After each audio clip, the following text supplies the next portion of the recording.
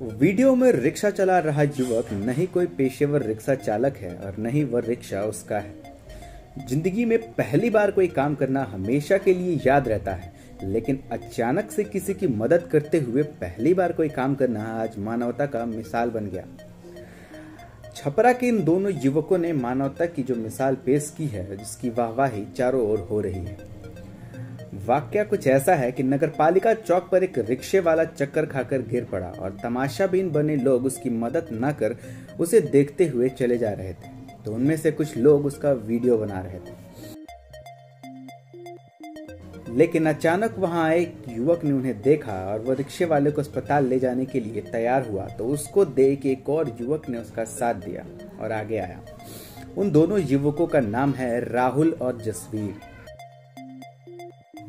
उस वृद्ध रिक्शे वाले को रिक्शे पर बैठाया गया और जसवीर रिक्शे वाले को पकड़कर बैठ गया, वहीं राहुल ने रिक्शा चलाना शुरू किया और फिर पहली बार रिक्शा चला रहे राहुल ने नगर पालिका चौक से रिक्शा चलाकर छपरा सदर अस्पताल तक उस वृद्ध को लेकर आया।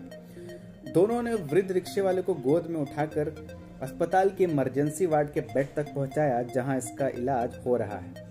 राहुल कुमार छपरा के कटहरी बाग का रहने वाला है तो वहीं जसवीर पांडे गुदरी के टक्कर मोड़ का निवासी है।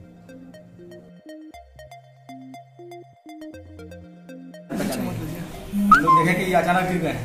हमको लगा कि इनको मदद करना चाहिए। और इनको लेकर भागे भागे आए हैं लोग।